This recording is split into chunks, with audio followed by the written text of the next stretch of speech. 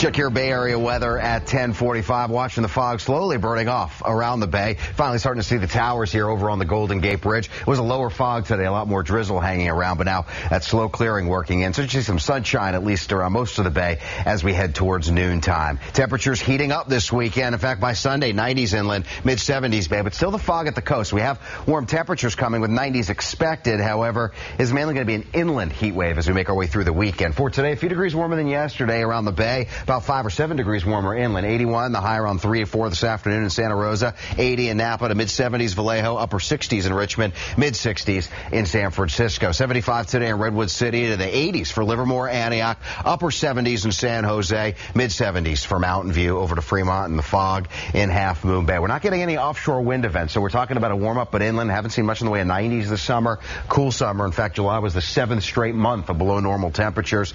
And here comes some heat inland as Sunday 92 inland, mid 90s, and these temperatures are more like for Livermore, Antioch. The Central Valley is going to bake this weekend, and we're going to get some of that heat just backing into the East Bay. 90s though for the inland spots all the way through Thursday.